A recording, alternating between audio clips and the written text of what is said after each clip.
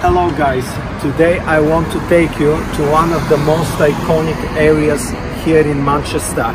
Such a lively and such an artistic place. Let's go to Northern Quarter.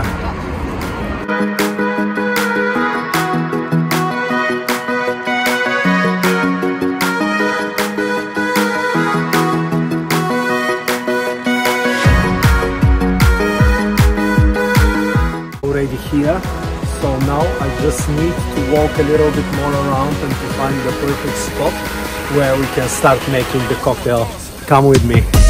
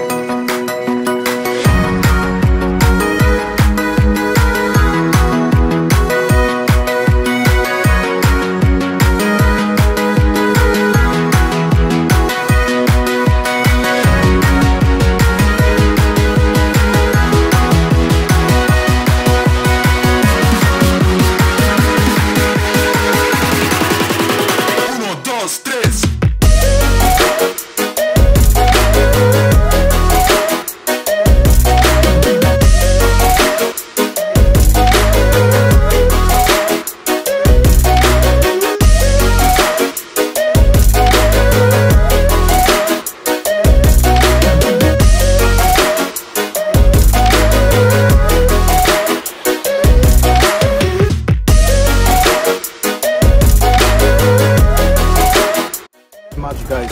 That was the video for today from northern quarter. I hope that you liked it. I hope that you enjoyed it. Subscribe to my channel and i hope to see you again in the next video. Cheers